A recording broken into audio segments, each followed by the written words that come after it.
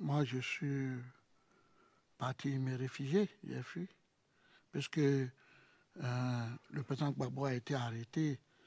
J'ai suivi ça en direct de la télévision qu'ils avaient mis en place à la Petite République. Je suivais ça, et quand il a mis tout ça, donc euh, c'est là les, les choses ont pris une autre allure puisqu'ils avaient pris le dessus. Donc maintenant, il y avait la chasse à, à l'homme contre tous ceux qui étaient pour Gbagbo. Moi, je ne pouvais pas rester.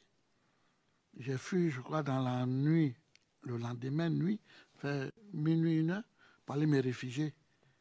Pendant une semaine, quelque part. Et je suis revenu dans la nuit, vers 1h, 2h du matin, sur la pluie, pour revenir chez moi. Mais il y avait toujours les FSI qui patrouillaient dans la ville, qui tiraient, ça tuait toujours.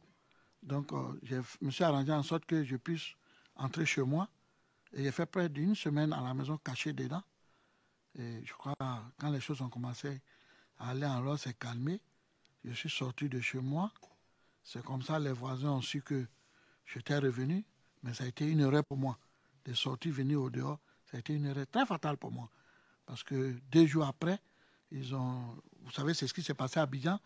Euh, quand ils ont pris le dessus, les voisins qui étaient maintenant pour Alassane ou qui étaient consul ont commencé à indiquer, à signaler où les Babo étaient. C'est comme ça que j'ai reçu la visite euh, des, gens en armes d'une bâchée 4-4. Et parmi eux, il y avait un des leaders, un jeune de la galaxie patriotique qui était là, mais lui, je le connaissais, qui venait d'Abobo.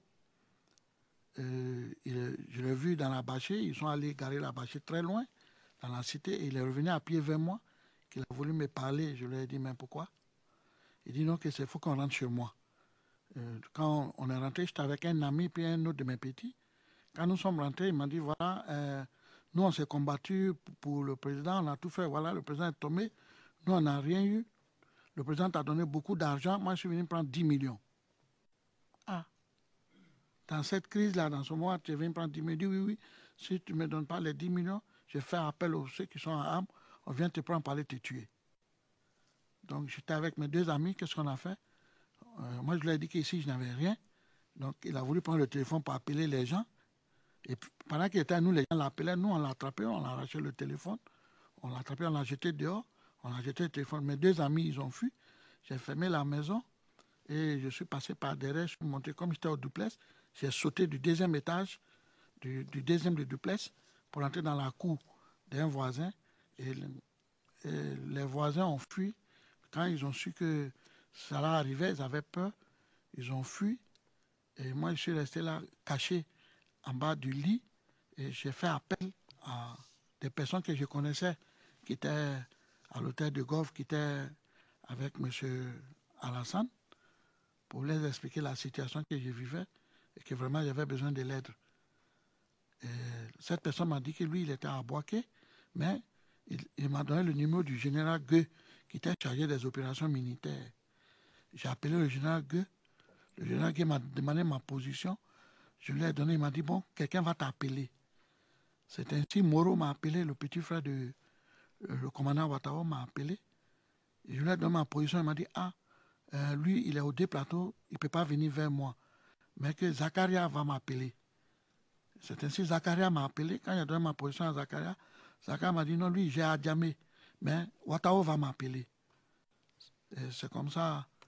Euh, euh, d'abord, le, monsieur que j'ai appelé à Boké m'avait donné le numéro du chef cap de Soro Guillaume, Seydou. Monsieur Seydou. Donc, Seydou m'a donné le numéro de sa sœur. Et quand sa sœur m'a appelé, c'est elle qui a commencé à me donner le numéro des autres euh, commandant. Donc, c'est comme ça, Ouattara m'a appelé, Ouattara m'a demandé ma position, il a donné. Il m'a dit, bon, ne bouge plus, on vient te chercher. C'est là je suis resté une heure après. Euh, ils sont arrivés dans la cité avec euh, deux chars de guerre, et deux 4x4 et plein de militaires. Et ils m'ont appelé pour me dire je pouvais sortir que l'endroit était sécurisé. Quand je suis sorti, celui qui était venu me chercher, il s'appelait Bema. Bema, moi, j'avais déjà eu affaire à lui à voir. Donc, quand il m'a vu, il, est tombé. parce qu'il il était dépassé que c'est moi, il vient pour sauver. Il m'a dit, mais est-ce que c'est pas une erreur? J'ai dit, pourquoi? Il dit, mais pourquoi c'est toi, nous avons devenu te protéger, te sauver? C'est une erreur que je vais appeler le commandant Watao. J'ai dit, oui, appelle le commandant. Ce n'est pas une erreur, c'est bien moi que tu dois venir sauver. Il dit, non, toi, on doit te tuer, on ne doit pas te sauver. Tu nous as trop insultés.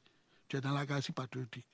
Je lui ai dit, non, laisse ça. Moi, je fais la politique, je suis pacifique. Donc, il a appelé Watao. Euh, il a mis au palais. Il a dit au commandant, Watao, il dit, mais commandant, est-ce que tu sais qui tu nous envoie venir chercher ici pour sauver là? Il dit, oui, je sais très bien, c'est Sam l'Africain. Et euh, ne le touchez pas, ne lui faites rien, protégez-le. Il, était étonné.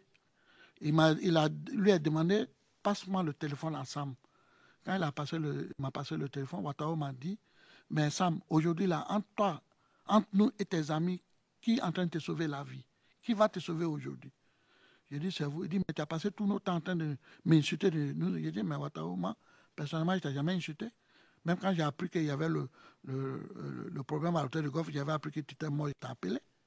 Il m'a dit oui, oui. J'ai dit donc, oh, moi je n'ai jamais, je t'ai jamais insulté. Il m'a dit bon, puis il a donné l'ordre aux gens de me protéger, de mettre des militaires, de me garder là chez moi, de protéger ma maison, en entendant qu'il va recevoir d'autres inscriptions qui me concernaient. C'est comme ça, moi j'ai eu la vie sauve, monsieur le procureur.